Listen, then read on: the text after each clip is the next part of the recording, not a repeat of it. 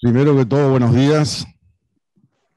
Es un gusto estar acá con ustedes, donde se va a hablar de cooperativismo, un tema al cual me, llega mucho y muy vinculado, no exactamente al derecho, porque yo estoy en la antítesis de, por ahí un poco los, abogados, soy ingeniero agrónomo, eh, y en el derecho no siempre 2 más 2 es 4, pero, pero es, es así, nos manejamos eh, en esos términos.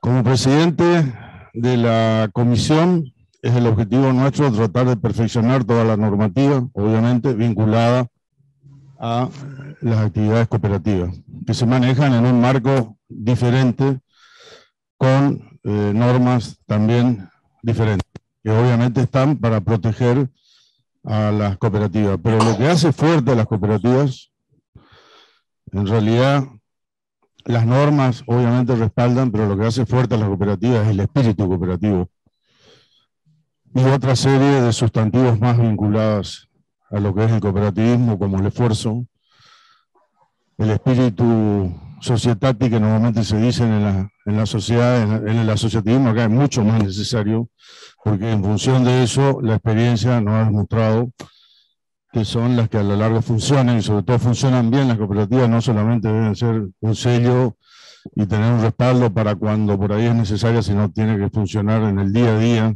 y ser fuerte.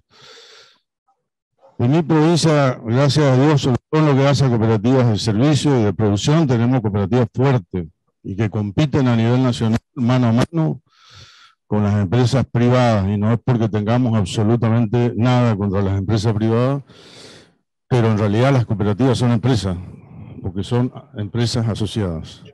Lo que pasa es que la escala a veces nos hace menos competitivos.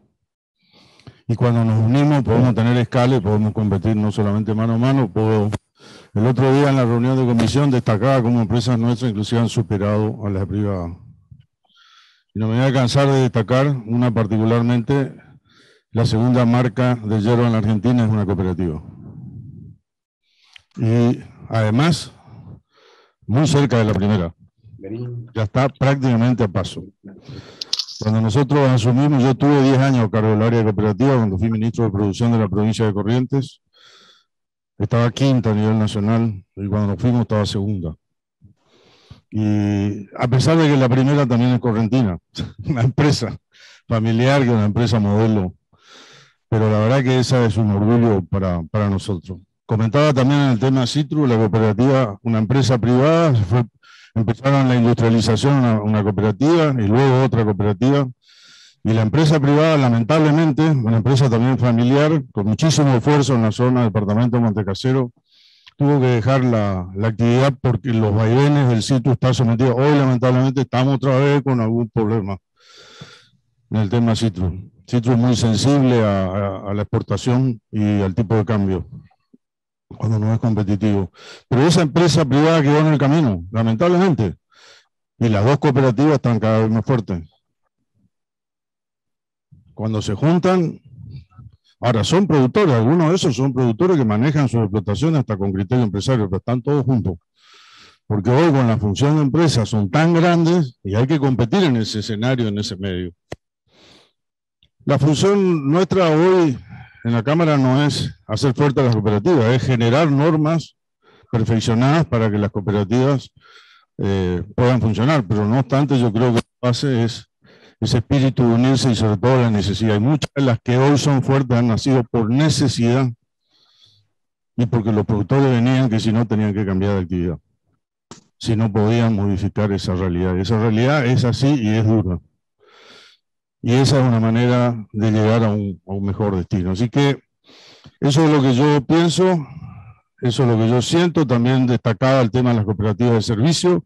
Justamente a veces se tienen que juntar cooperativas porque cuando se privatizan los servicios no les interesan las áreas rurales. Y ahí están las cooperativas. O cuando fallan los sistemas de mantenimiento de caminos, y ahí están las cooperativas. Los únicos caminos que funcionan bien son los que están gestionados en términos porque la comunidad en función de satisfacer sus problemas cuando no pueden salir. Eh, también en conectividad. En conectividad, todos quieren ir a las grandes ciudades donde está la gente concentrada, sobre todo lo que se trata de fibra óptica. Y cuando se dispersa la población no quieren ir, ahí están las cooperativas. Ahí están las cooperativas. Entonces eso hay que ayudar. Para mantener un sistema que funcione en equilibrio y que todos puedan tener las mismas oportunidades dentro de lo que, mal o bien, pero es nuestro sistema organizativo a niveles de las distintas jurisdicciones, nacional, provincial, inclusive municipal, porque hay muchas cooperativas que están respaldadas con normas especiales dentro de los municipios. Así que bueno, simplemente quería expresarle, eh, si bien lo fuerte no es mi derecho, bueno, yo estoy diputado, así que tengo que hacer normas y aprender sobre la cuestión. De hecho, me acompañan acá cuatro asesores míos, son todos abogados. Así que bueno, para conformar equipo y buscar los equilibrios, este, eh, así, no, perdón, tres abogados, un economista. es también un tema bastante relevante en la, en la, cuestión. Así que bueno, un gusto estar con ustedes. Muchas gracias por, por invitarme y sobre todo por darme la palabra en la apertura de este evento. Esperemos que sea exitoso y con el compromiso en octubre creo que tiene un evento en Asunción, puede ser, sí. Y ya con varios diputados que ya les dije, bueno, el compromiso de, acompañarlo y vamos a tratar de, estar con usted. A mí me queda muy cerca, porque los litorales estamos muy cerca de Asunción, pero bastante más fácil acceder, pero bueno, vamos a tratar de acompañarlo en ese, en ese evento. Así que bueno, muchas gracias, nada más.